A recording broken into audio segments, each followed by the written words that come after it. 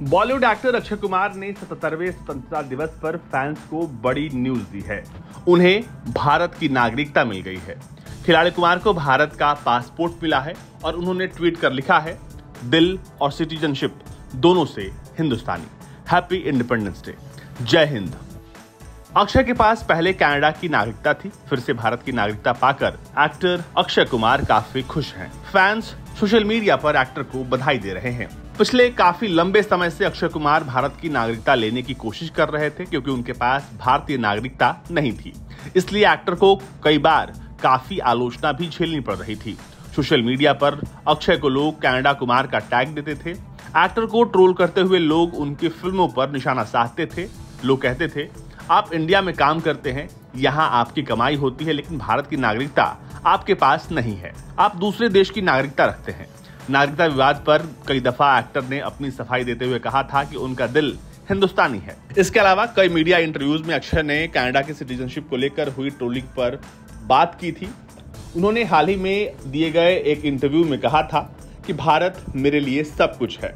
मैंने जो भी कमाया है, यहाँ रहकर कमाया है और मैं खुद को खुशनसीब मानता हूँ कि मुझे लौटाने का मौका मिला है। मुझे खराब लगता है जब लोग मेरी नागरिकता पर सवाल खड़े करते हैं।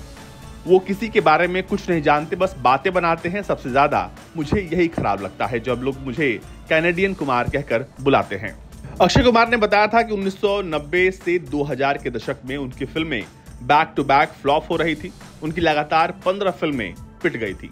खराब बॉक्स ऑफ़िस कलेक्शन की वजह से अक्षय ने कनाडा जाकर काम करना शुरू किया और वहाँ की नागरिकता के लिए अप्लाई किया था।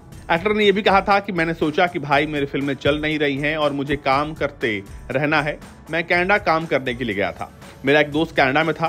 उसने मुझे कहा कि यहाँ आ जा और इस दौरान मैंने कनाडा की नागरिकता के लिए अप्लाई कर दिया। मेरे पास केवल दो फ़िल्में बची थी जो रिलीज़ होनी बाकी थी। ये मेरी खुशकिस्मती है कि दोनों ही बची हुई फ़िल्में मेरी सुपरहिट हो गई।